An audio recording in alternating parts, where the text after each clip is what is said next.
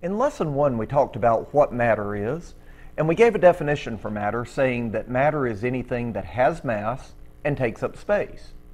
In our last video, we looked at how we can use some different tools in the science lab to measure the mass of objects, but today we're going to focus on how we can measure the amount of space that those objects take up. And the name for that amount of space is called the volume of an object. For instance, I have a cube here, so this cube takes up a certain amount of space in this room and that space would be the volume of the cube, the amount of space that it takes up. We're going to look at how we can measure the volume of solids, like the cube, and then we're going to look at how we can measure the volume of liquids. Now, to measure the volume of a solid object, we use a process called displacement. And that's something that everybody that's ever got in a bathtub or a kiddie pool is probably familiar with. You know, if you get in the kiddie pool and the water is near the top, the water rises up and some might pour out. If you get in the bathtub, the water level in the bathtub rises up because as you get in, you're taking up part of the space that the water was taking up. So now the water rises up to take up the space above it.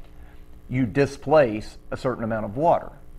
And we're going to use that idea of displacement on a smaller scale to measure the volume of some different objects. And this works with any solid object that we might have. In this case, we're going to use our little brass density cube here. And this is just a little metal can that's got a spout on the side, and we can use that to easily measure displacement. And in order to do that, we're just going to take some liquid. I'm going to use green just so it'll show up better. And we're going to add that to our can until it gets up to the spout and starts to overflow.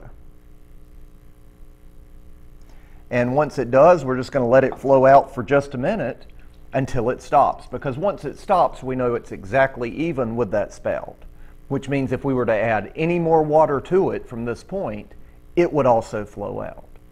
Now that our overflow can's ready, we're going to empty this excess water, and we want to put a empty beaker underneath the spout because what we're going to do is actually submerge our object into the water to displace that water, giving us the volume of the cube. So all we have to do is just carefully, we don't want to splash it out, but we're going to carefully place the cube in the water. It hits the bottom kind of hard because it's heavy, but you see now that water is starting to flow out of the overflow can. And that's the water that was displaced by the brass cube. In a minute, we'll measure that, looking at liquid volume measurement, and see what the volume of the cube was. So in order to measure the volume of a liquid, we use a piece of lab equipment called a graduated cylinder. And sometimes these are made out of glass, like this one is. Sometimes they might be made out of plastic. But the neat thing about a graduated cylinder, it's got lots and lots of little lines going up the side of it. And these are called graduations. That's where it gets its name from. And by looking at the graduations on the side when we add liquid, we can see how much liquid has been added to the graduated cylinder. So we're going to take our liquid that we got from measuring the displacement of the cube, and we're just going to pour it in. This graduated cylinder measures up to 100 milliliters. So we're going to pour this in and see how much we have. And if we look at the side here, we can see it looks like 10, 15, 16 milliliters of liquid that came out being displaced by the cube that we put in the water. Now, we talked about measuring volume, and we said that volume is measured in one of two units, and those units are either milliliters or cubic centimeters. And typically we'll use milliliters for our liquid measurement, and we use cubic centimeters for our solid measurement.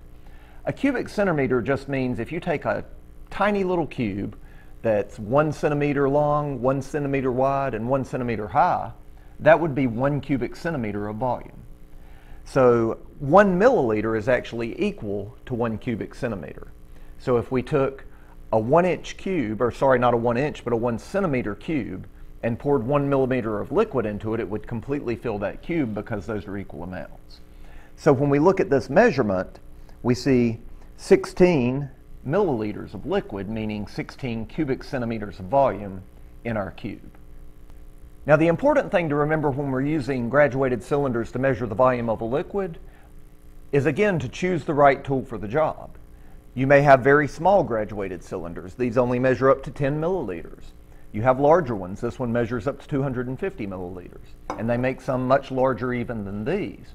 So it's important to get the right graduated cylinder for the amount of liquid we need to measure. If I needed to measure two milliliters of a liquid out, I wouldn't want to use my large graduated cylinder. I would want to use this 10 milliliter so I can get a good accurate measurement of two milliliters. If I wanted to measure 150 milliliters, these two wouldn't be large enough. I would have to use the 250 milliliter. And again, by looking at these graduations on the side, so if I want to measure exactly 150 milliliters, I can add my liquid to the graduated cylinder.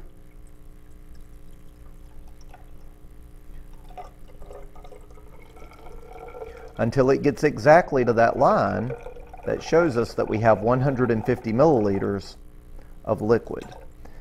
So some of our science experiments that we'll be doing this year, it's going to be very important that you use exact amounts of ingredients. We can use our digital scale to measure exact amounts of solids. We can use our graduated cylinders to measure exact amounts of liquid. So it's very important to know these skills so that we'll be able to do a lot of the science labs, experiments, and activities that I have planned later in the year.